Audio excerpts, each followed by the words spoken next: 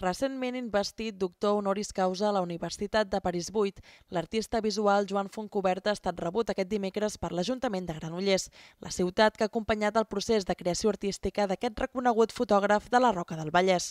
Fontcoberta, acompanyat per la seva família, ha estat rebut per l'alcaldessa de Granollers, Alba Bernusell, i els regidors i regidores del consistori docent, crític, comissari d'exposicions i historiador. Joan Fontcoberta té el seu taller a Rocombert, on és assessor en imatge i arts visuals de la fàbrica.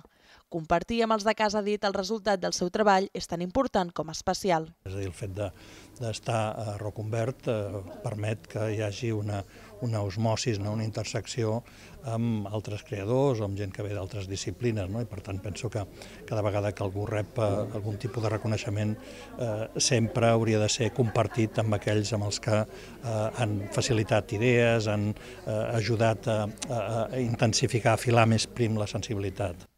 El treball artístic de Fontcoberta qüestiona la credibilitat de les imatges que ens envolten, la seva dualitat de realitat i ficció. És la primera vegada que es distingeix a un artista visual amb el títol honorífic doctor honoris causa. En el meu cas eh, no, no és tant eh, per el vessant eh, teòric o, o, o d'investigació, sinó per l'artístic, per el creatiu. No? L'any 2013 ja va rebre el prestigiós Premi Internacional de Fotografia Hasselblad. La seva obra es troba en col·leccions com el MoMA de Nova York, l'Institut d'Art de Chicago, el Centre Pompidou de París o el Reina Sofia de Madrid. Al final de l'acte, l'alcaldessa Alba Bernocell li ha fet entrega del llibre Granollers amunt i avall, que a través de textos i fotografies d'autors de quilòmetre zero mostra el patrimoni de la ciutat de Granollers, un patrimoni de qui el prestigiós Font Coberta forma part. Com ha dit Bernocell, portant el reconeixement de Roca Humbert Fàbrica de les Arts arreu del món.